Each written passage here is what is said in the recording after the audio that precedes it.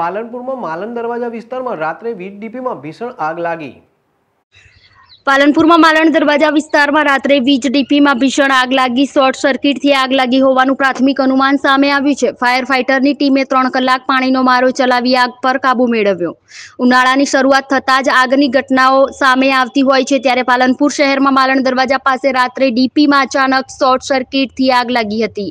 ઘટનાની જાણ સ્થાનિકોએ યુજીવીસીએલના કર્મચારી અને પાલનપુર નગરપાલિકાના ફાયર ફાઇટર ટીમને કરાતા જ ટીમ તાત્કાલિક ઘટના સ્થળ પર પહોંચી. વીજ પુરવઠો બંધ કરી આગ પર કાબુ મેળવાયો હતો. બનાસકાંઠા જિલ્લાના પાલનપુર શહેરમાં માલણ દરવાજા પાસે મોડી રાત્રે ડીપીમાં અચાનક શોર્ટ સર્કિટથી આગ લાગી હતી. આગ લાગતા જ સમગ્ર વિસ્તારમાં અફરાતફરીનો માહોલ સર્જાયો હતો.